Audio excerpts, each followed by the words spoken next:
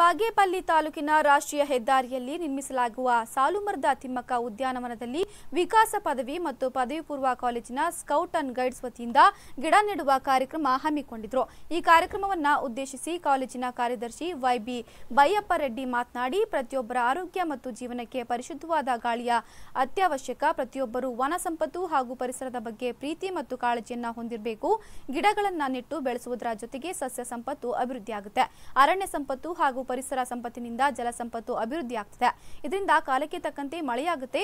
ಅರಣ್ಯ ಹಾಗೂ ಪರಿಸರ ದೇಶದ ಅತಿ ದೊಡ್ಡ ಸಂಪತ್ತಾಗಿದೆ ಅಂತ ತಿಳಿಸಿದರು.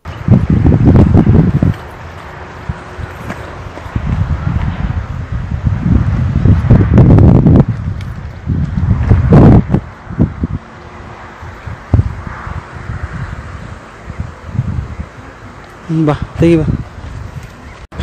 ಅಡ್ಲ ಅಡ್ಲ ಅಟ್ಲ ಇಷ್ಟ ಉಂಡು.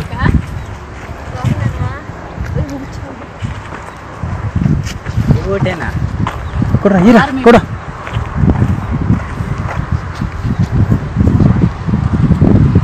ಕೊಡು ಒಂದೊಂದು ಇಟ್ಬಿಡ್ರಿ ಹ್ಮ್,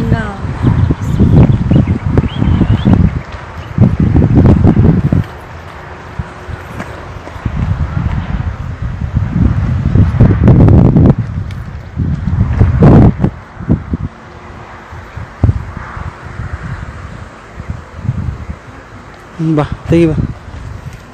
ಬರ್ತಾ ಇದ್ದಾರೆ ಹಂಗೆ ತೆಗಿ ಬಾರ. ತೆಗೆದು ಹಂಗೆ ಕಳಿಸ್ಬಿಡ.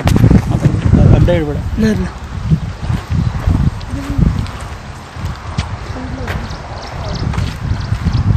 ವಿಡಿಯೋ ಬಂದು